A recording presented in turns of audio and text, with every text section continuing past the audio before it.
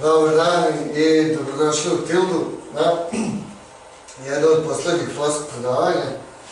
Ove, neću umreti posle toga, ali ovo su sad već napredne tehnike. A to je a, REST framework i JSON kao hm, kao format poruka koji se razmenjuje. Pa je key value, zna, bukvalno se ovako piše, ovaj, kad kaže da se lako parsira, to znači da se lako parsira u svim jezicima i jezici imaju obično nešto što liči na taj JSON, pa može da, da se lako predstavlja u jeziku. I uh, jedan JSON kao JavaScript Object Notation, naglasak na ono object, ovaj, može predstavlja JavaScript objekte ovaj, i ti objekti mogu da imaju nizove drugih objekata i objekte koji imaju još neke svoje propertije u ovom key value formatu i tako dalje. Tako da tu postoji jedna, JSON je više kao neka hjerarhija, pa recimo, ovo je najprostije, Pri čemu, primjer, ovaj IP ili ajde neki treći parametar mogao biti opet objekat što se piše isto ovako jedan ugnježden ovaj, ugnježden JSON jedan u drugi. Ovaj, a nizovi su jel sa ovim koji su svim jezicima sa ovim uglaskim zagradama. E sad, ima kada je API u pitanju, ima, URL ima neku, neki viši smisao, kako da kažem. Nije samo bitno da se na njemu nešto nađe, nego i sam naziv, sam URL predstavlja nešto, ovdje dobijemo jednu stvar, ovdje dobijemo drugu stvar i bilo bi lepo da iz URL-a je a, očigledno šta hoćemo da, da postignemo uopšte. E sad, taj URL iz nekog razloga se zove endpoint, o, tako da čisto, čisto znamo legendu, kad kažem endpoint, to je u suštini jedan URL. I taj jedan endpoint može da ima više to se zove metoda. E sad, da li su metode u klasama ili su metode u HTTP-u, sve jedno je, zato što se zovu isto. Tako da je taj, taj mapping je dosta zgodan. E sad, REST API zapravo znači ovo, zapravo REST znači ovo reprezent, ne znam ja da izgovorim, ovaj, Rekao zbog kompletnosti predavanja da, da stoji ovo, ali na, dok nisam spremao prezentaciju nisam ne znao šta. Ovaj, API je Application Programming Interface, a to je neki interfejs za programera, bolje rečeno.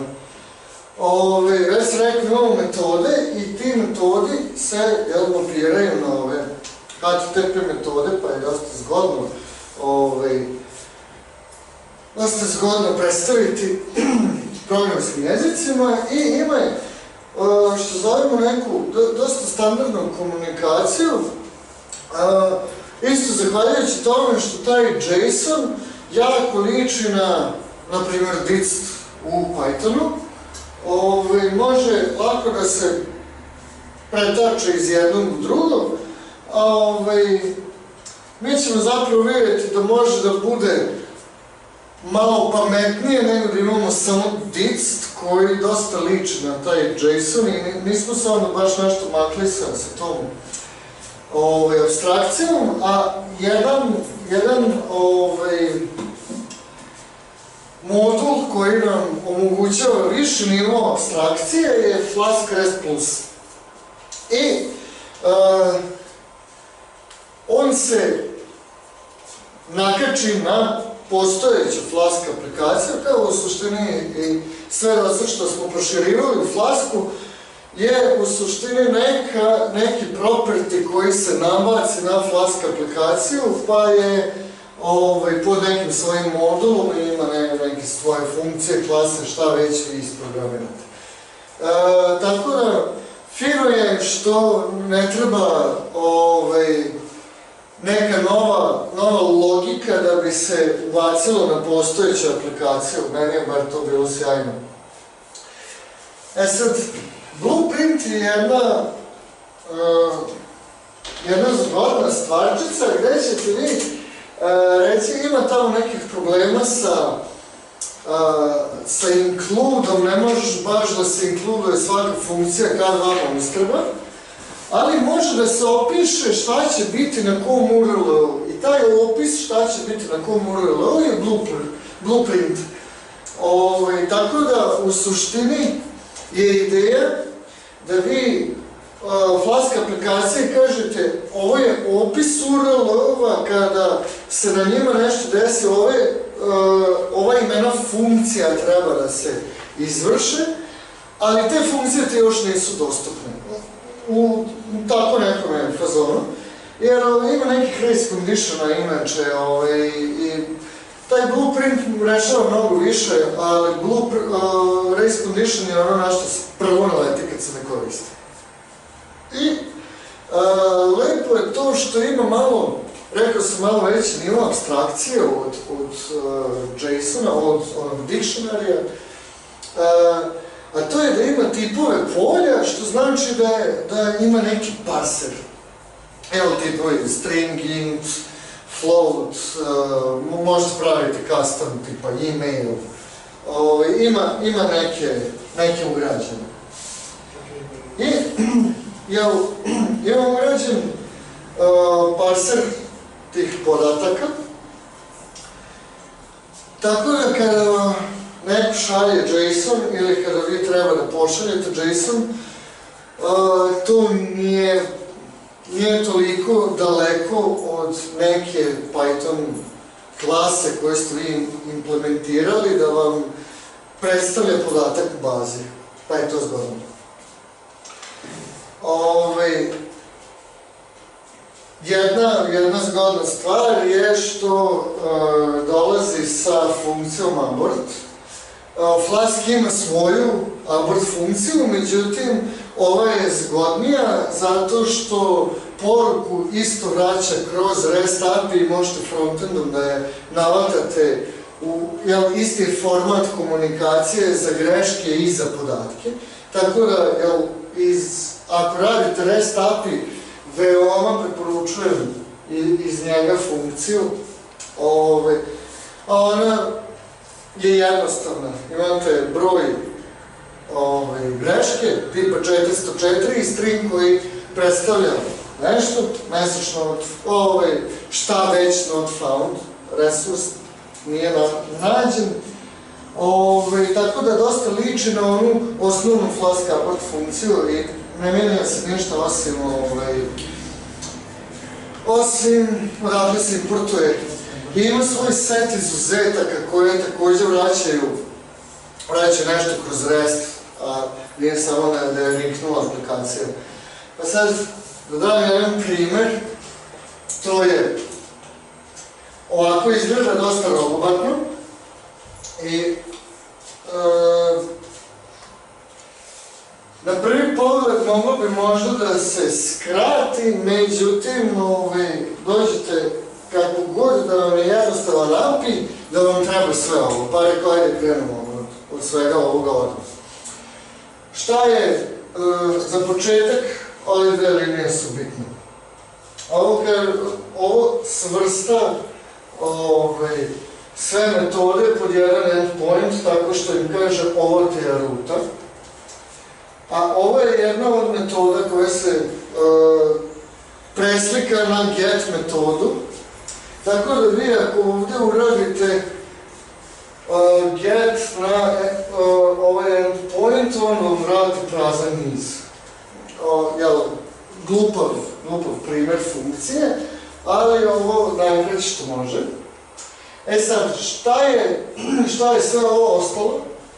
Prvo, ovo Marshall Width je jedna nevjerovatno zgodna ovaj, funkcija. E, sam Python ima jednu, e, jedan princip, kako kaže, ako hoda kao patka i čuje se kao patka, onda će smatrati da je patka.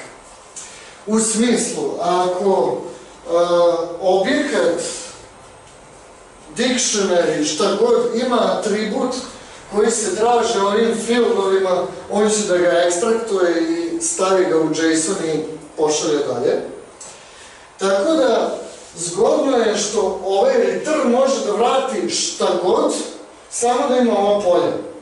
Ovo je neki opis polja, ovaj, koji isto tako u dictionary i lagano se čita. Ovaj, doći ćemo do toga šta je tačno. Ovaj, meni je naravno zgodno da ovo prima bilo šta što, što se vrati ovim returnom i predstavit će ga nekako. Tamo ako nema ni jedan atribut koji je ovdje u fieldovima, reći će ok, nema atributa, sve su null ili nešto će uraditi sa njima.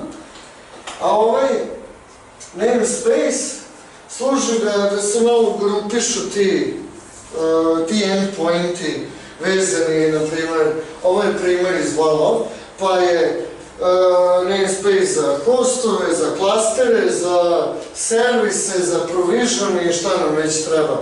Uh, pa ima u svakom namespace-u više ovih endpointa predstavljenih klasama koje radi nešto. Tako da je namespace je u suštini način da se grupišu, grupišu slični.